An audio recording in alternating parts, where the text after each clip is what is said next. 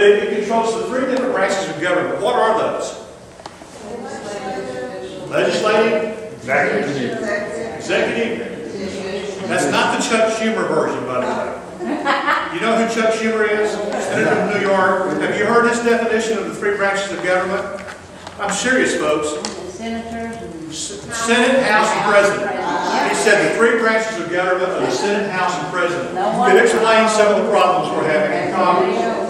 Okay? The President or the executive, and you can put either one of those words in that blank that you want to.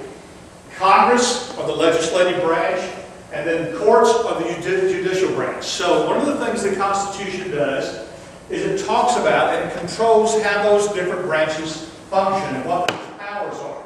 The second thing it does is that it, it controls the way in which the president and the Congress are elected, and also how federal judges are appointed.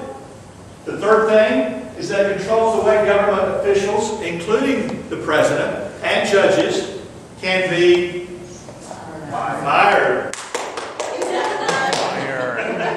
That. One of the favorite words in this study. Number four, it controls the relationship between the federal government and the states. And I think we're going to spend some time there because I will tell you that is one of the most intense issues being debated in our nation today. And it has been historically since our history began, but we're going to spend some time on that very issue. And then most particularly, the Constitution specifies your rights as a citizen or as an inhabitant of the United States. In fact, the Constitution basically is your contract with your government.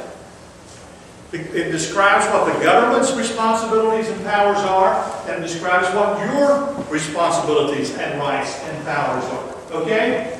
Now, this, the United States Constitution, fundamentally changed, this is one of the things that makes it so remarkable, it fundamentally changed the relationship between people and the government. How did it do that?